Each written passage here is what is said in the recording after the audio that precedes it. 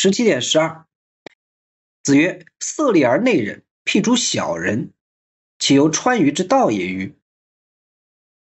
啊，这里边讲到了一句话，叫“色厉内荏”，这就是后来的一个成语。色厉而内荏，啊，这个色就是外表，脸色外表，厉就是严厉，忍的意思是虚弱。就这个人虽然外表看着凶恶严厉，但是心里边很虚，这就叫色厉内荏。这是说的是那种什么样的人？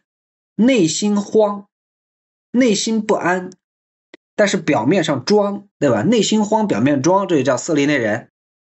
然后孔子打了个比方，孔子说，如果用那些小人来打比方，这里的小人也不是说道德败坏的人啊，而是说那种不登大雅之堂的人，啊，就是这种这种普通人，对吧？就是就像干什么呢？就像是那个爬墙、挖洞的这个小偷。啊，叫川渝之道，啊，就是一个小偷，他去别人家偷东西，他要挖洞，对吧？这个穿就是就是就是把它凿穿、挖穿嘛，鱼就是洞嘛，墙上的洞嘛。一个小偷去偷东西的时候，要凿洞、挖墙、凿洞进去，你觉得他大胆吗？他不大胆，他胆儿其实很小。但是他表面上要装出很凶恶的样子，实际上他很害怕。他如果不害怕，他挖什么洞啊？大门大摇大摆的砸门进去不行吗？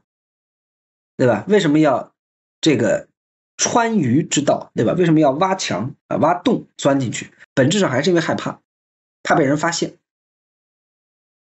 所以这个就叫色厉而内荏啊。当然，孔子讲的是内心当中，就是一个人真正的勇。真正的威严来源于他内心的安定和勇敢和信念，而不来源于他表面上装出来的那个样子。这是十七点一二啊讲的这个内容。